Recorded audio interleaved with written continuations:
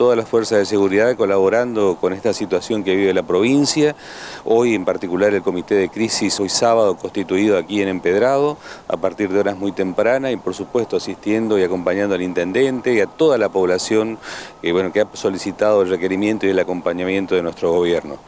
Todas las áreas de nuestro gobierno convocadas y lógicamente ya al servicio de la comunidad como debe ser.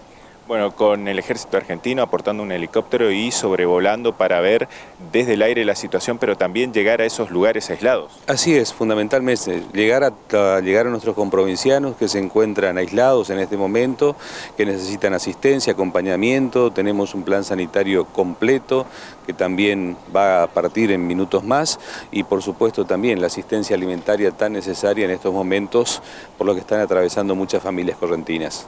Eh, ¿Cómo se puede actualizar el informe acerca de la situación con respecto a cantidad de evacuados y todo el trabajo que se está haciendo, eh, la situación de la transitabilidad de la provincia? Bueno, pedimos por sobre todas las cosas mucha precaución a quienes transitan por las rutas de la provincia de Corrientes. Si bien las fuerzas de seguridad están tantos nacionales como provinciales, a lo largo de las rutas nacionales y provinciales también apostados, a efecto de brindar indicaciones.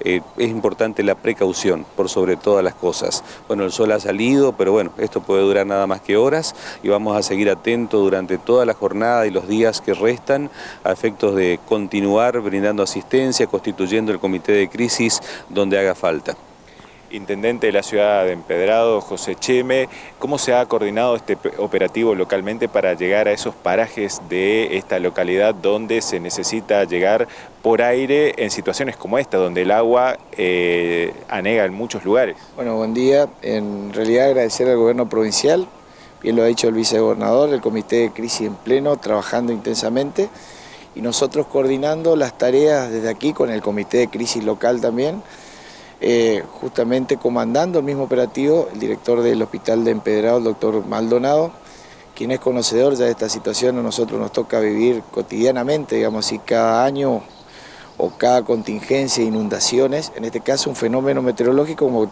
esta intensa lluvia.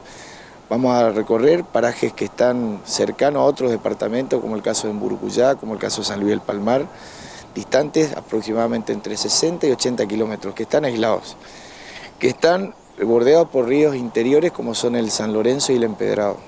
El caso de Costa Grande, el caso de San Lorencito, el caso de Bernachea, el caso de Paraje Capití, Empedrado Limpio y Ramones, son los puntos eh, más dificultosos que tenemos como para los accesos.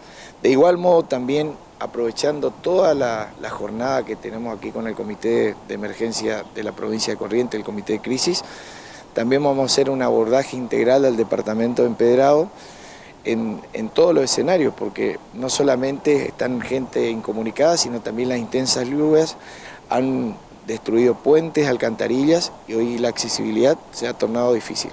Así que estamos trabajando intensamente en ese sentido desde el mismo martes que ha caído casi 330 milímetros en dos días. Así que un fenómeno bastante complejo como para poder ser abordado, pero bueno, con el acompañamiento de esta forma unidos, trabajando juntos, indudable mucho mucho más fácil es esta contingencia. ¿Cuál es la situación de empedrado? ¿Cantidad de evacuados, caminos? Aislados. Hay auto evacuados y aislados. Es en la zona rural. Felizmente en la zona urbana podemos resolver las cuestiones propias que tenemos en cada lugar. En los lugares anegados se han podido resolver rápidamente, el escurrimiento fue muy bueno.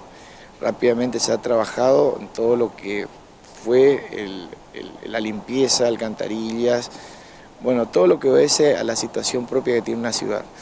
Así que nuestra problemática está basada fundamentalmente en la zona rural.